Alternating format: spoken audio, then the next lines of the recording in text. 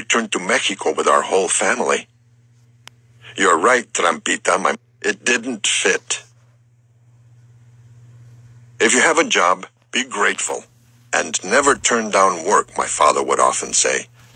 This is why I regretted not having a chance to tell him in person that in addition to working for the Santa Maria window cleaners, I would be working for Mrs. Hancock during the Christmas break. He would have been proud of me, I thought, as I left our house to go see Mrs. Margie Williams, Mrs. Hancock's personal secretary. I checked the telephone number and address that Father O'Neill had given me and called her from a payphone at the Texaco gas station on Main Street. I've been expecting your call, she said. Come right over.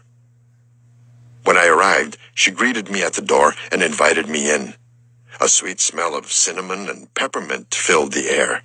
In the corner of the living room stood a large Christmas tree, crowned with an angel and strung with twinkling white, red, green, and yellow lights.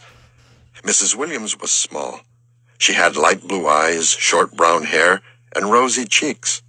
She introduced me to her husband, who was tall and husky. You must know our son Ken, he said, pointing to a graduation picture on the fireplace mantel. Of course.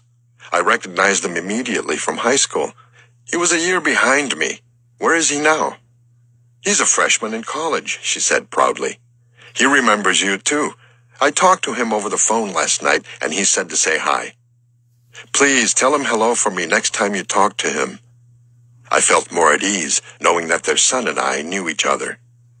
Mr. Williams put on his suit coat, said goodbye, and left for work. For an instant, the image of my father's face, the last time I saw him, flashed in my mind. Mrs. Williams then explained to me that Mrs. Marion Hancock had given her a list of people to whom she wished to give Christmas presents. Mrs. Williams was to purchase the gifts, and I was to deliver them for Mrs. Hancock on the weekend before Christmas. I was disappointed that the job was for only two days, but I was glad to have it. The following Saturday morning, I returned to Mrs. Williams' house, ready to begin my new job. Her living room looked like a huge treasure chest. It was filled with big and small Christmas presents, wrapped in colorful paper with different patterns and figures, stars and angels, Frosty the Snowman, starry lights, reindeers in flight, and teddy bears. She offered me a cup of hot chocolate, and after I finished it, she said, You'll be driving the company van to deliver the gifts. I was glad I wouldn't be driving our old DeSoto. I've sorted the presents by towns and neighborhoods to make it easier for you. Here's a map and a list of names with addresses. I loaded the van and delivered presents that morning to places and homes I did not know existed. The houses in Lake Marie Estates, near the Santa Maria Country Club, had large front yards with lush green lawns, trimmed hedges, lattice fences, and flower gardens. Some even had outdoor swimming pools and wide cobblestone or red brick driveways. In the pale afternoon light, I drove to Vandenberg Air Force Base near Lompoc and left gifts for military officers at the gate since I did not have clearance to enter the base. I was disappointed because I wanted to see the missile testing grounds. I used to hear the boom of rockets periodically blasting off from the base when we had picked strawberries for Ito during the summer. They shot straight up into the air through aimlessly roving clouds, leaving a long trail of white smoke. On Sunday, I picked up the van and finished the deliveries by mid-morning and returned it to Mrs. Williams. My, that was quick, she said, smiling. You did a fine job. Here's a Christmas present for you from Mrs. Hancock. She handed me a large box wrapped in light blue paper with figures of peace doves. Go ahead and open it. I carefully took off the wrapping paper, folded it, and opened the box. Inside was a beautiful dark blue and white reversible jacket with a hood attached to it. It's water repellent, she added. This was a perfect gift. I did not have a waterproof jacket or a raincoat. Thank you, I said. Please thank Mrs. Hancock for me. You can thank her yourself. She wants to meet you. I'm going to call her to see if today is good for her. Please make yourself at home. She left the room. I sat down on the couch and admired a small nativity set on the end table and listened to Christmas carols softly playing on the stereo. A few minutes later, she returned and said excitedly, She'll be happy to see you this afternoon. I wanted to learn something about Mrs. Hancock before going to meet her, but I was not sure if there was a proper way to ask. Taking a chance, I said, I am curious. Is Allan Hancock College in any way connected to Mrs. Hancock's name? Allan Hancock College was a two-year community college in Santa Maria where Roberto had taken woodshop classes at night to make furniture for his home after he got married. I thought you knew, she answered. When I blushed, she added, Well, there's no reason why you should. Many people don't know either. She explained that the college stood on the site of what used to be the Hancock College of Aeronautics, which Mr. Hancock had founded and where pilots trained for service during the Second World War. After the war, he leased the land to Santa Maria Junior College for $1 a year, and when the new campus was built, it was renamed Allan Hancock College. He's a very generous man, I said. An extraordinary man. He owns and operates Rosemary Farm and the Santa Maria Valley Railroad, which runs between Santa Maria and Guadalupe. His favorite steam engine is Old 21. It's now a museum piece. Have you seen it? When we first arrived in Santa Maria from Mexico, I would watch the trains go by behind the migrant labor tent camp we lived in. Roberto and I played on the railroad tracks and waited every day at noon for the train to pass by. We always wondered where it came from. We called it the noon train. Could this be the same one? Have you seen the engine? Mrs. Williams repeated. I'm sorry, no, I haven't, but I'd like to. She proceeded to tell me that it was located near the railroad offices on South McClelland and suggested that I stop by to see it. Oh gosh, I almost forgot. You need to be on your way. She jotted down Mrs. Hancock's address on a piece of paper and handed it to me. Rosemary Farm is easy to get to. I had seen Rosemary Farm from a distance many times. The long cluster of low, white-roofed buildings looked like mushrooms growing in the middle of hundreds of acres of green fields. I was amazed that Mr. and Mrs. Hancock lived there. I expected them to live in neighborhoods like the ones I had seen the past two days while delivering gifts. I know where it is, I said. We can see it from Bonetti Ranch, where my family lives. Before I left, she gave me an envelope with money in it for my work delivering presents. I opened it in the car. I was flabbergasted when I saw three $50 bills. How generous. My father and I would have had to work 60 hours each picking strawberries to earn this much. I wish I could have shared this moment with him. He would have been very pleased. The private entrance to the farm was on the west side. On both sides of the narrow paved road were small, white wooden houses and cottages with flower gardens. They were numbered consecutively, starting with one. Mrs. Hancock's house was numbered 10. The facade of her house was no different from that of the other houses, except for two white wooden pillars that framed the entrance. The rest of it was hidden from view with tall hedges and trees. I nervously rang the doorbell. Mrs. Hancock opened the door. I introduced myself. How nice to finally meet you, she said, ushering me in and motioning for me to sit next to a coffee table. She sat down across from me in a high-backed armchair. She had a soft, pleasing voice, a radiant face, sweet, almond-shaped brown eyes, and graying blonde hair pinned back in a bun with curls in the front. A string of white pearls adorned her collar. She was elegant, like a swan. Behind her on the wall hung a floral tapestry with shades of black, brown, white, rose, blue, and green. On a small table next to her chair was a small sculpture of the Virgin Mary and a leather-bound copy of the Bible with gold lettering. I thanked her for the jacket and the job and gave her Father O'Neill's regards. I am so pleased he brought us together, she said, clasping her small, slender hands. Unfortunately, the captain won't be able to meet you. He's ill. The captain? I wondered to whom she was referring. I apologize. I call my husband the captain. You see, when he was a child, he was fascinated by boats. He rowed a flatboat on lakes at the tar pits in Los Angeles.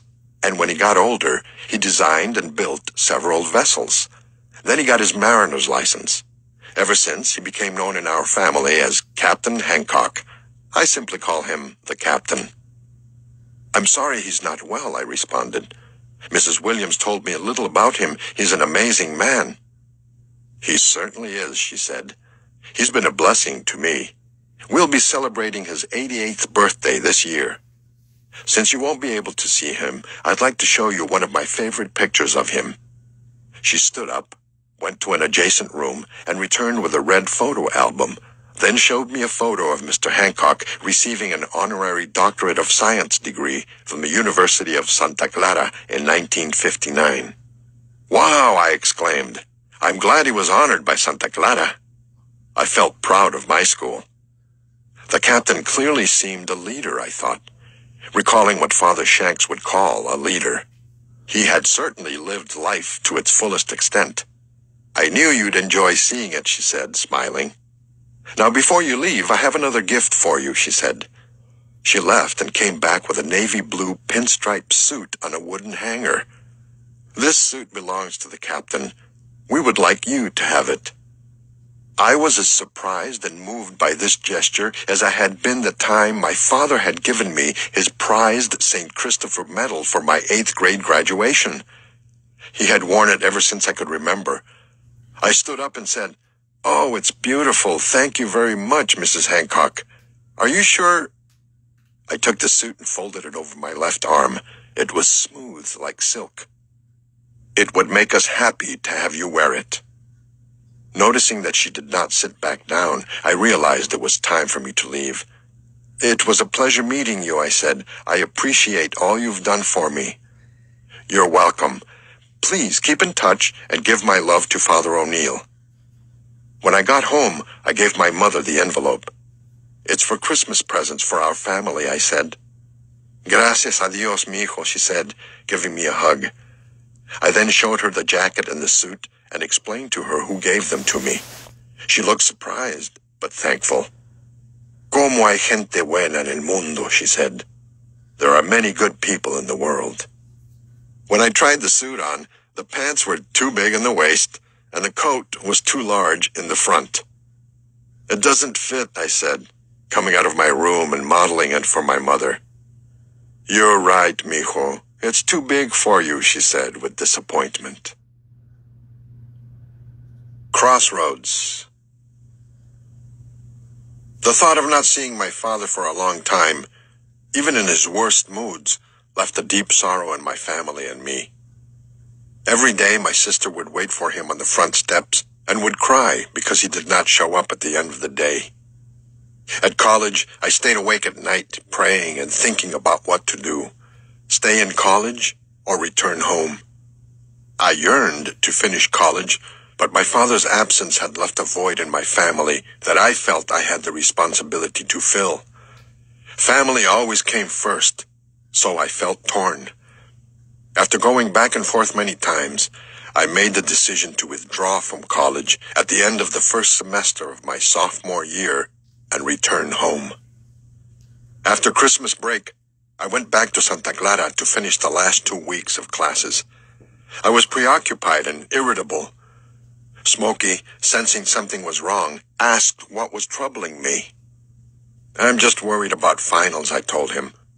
I decided to let him know about my decision after final exams because I did not want to bother him with my problems before then.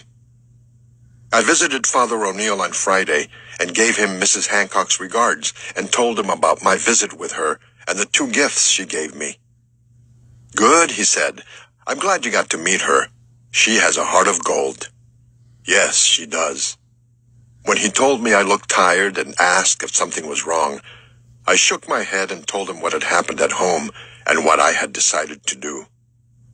Oh, no, I am so sorry. I can understand your feelings. He paused for a while and then added firmly, but I disagree with your decision to leave Santa Clara. But I feel responsible for my family, especially now that my father has left. Don't you think that finishing college is also your responsibility? Think of the sacrifices your family made for you to be here. Think of the people who believe in you and contributed to your scholarships. Don't you think you have a responsibility to them, too? Besides, remember what I told you. Everything happens for a reason, and you must have trust in God. I do have trust in God, Father, and I appreciate the sacrifices people have made for me, and I don't want to let them down, but... Look, son, I know how difficult this is for you, but I think you should take more time to reflect on your decision in light of our discussion. Meantime, I will offer a novena for you and your family. The more I thought about Father O'Neill's advice, the less sure I was about my decision. That evening, I walked around the mission gardens trying to clear my mind. Was I being selfish if I stayed in college? What about my dream of being a teacher? I thought about how hard Trampita, Torito, and my mother were working to get by. I felt guilty. I returned to my room and struggled to get started on a paper for my philosophy final. I put it aside and went to bed, but had a hard time sleeping. I was so depressed and discouraged by Sunday that I did not feel like going to the first meeting for new sodality candidates that afternoon. At Smokey's insistence, I dragged myself to it and took an aisle seat in the back of the room and tried to pay attention to Father Shanks. After he welcomed us, we joined him in a prayer for the new year. He then wrote on the blackboard, What is the meaning and purpose of my life? The question held my attention because I often wondered why my family and I suffered so much. My father would say we were cursed. I want you to answer this question to yourselves, Father Shanks said, pacing up and down the room. It's not easy, but it's one we must all seek to answer. He moved to the back of the room, stood next to me, and continued. Where can we find clues?